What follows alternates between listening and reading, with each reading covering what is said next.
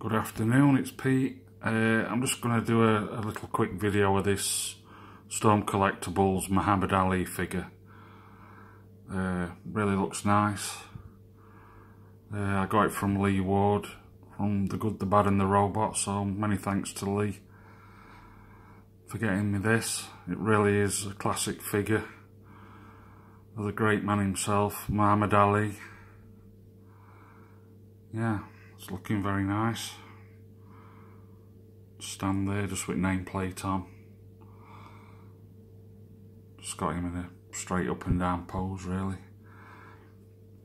But uh, his arms and that do bend well, they're not bad at all. Nice rubberized body, which is quite good quality, feels good. So I think it'll stand the test of time for wear and tear. Comes with a punch bag, uh, Muhammad Ali, like, you know, his robe, got his name on back. Yeah, it looks quality.